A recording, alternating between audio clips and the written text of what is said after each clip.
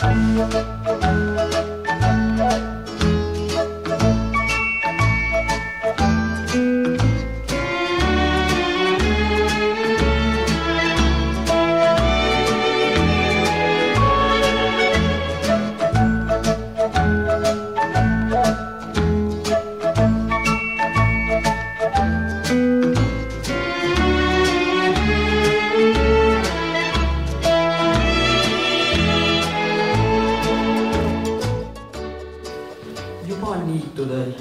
värve, päike poeb õue, metsa ja järve.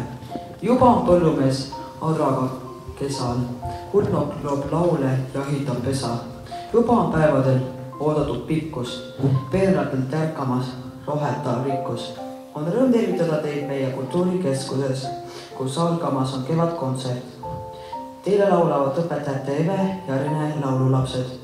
kas olete valmis? helipuldis nuppe keeramas on Siim Märaasumit ja hiljem meie kontserdid ka järel vaadata saaks. selle eest hoolitseb Arvi Roober. Okas Kurku lauljatele ja laulustele.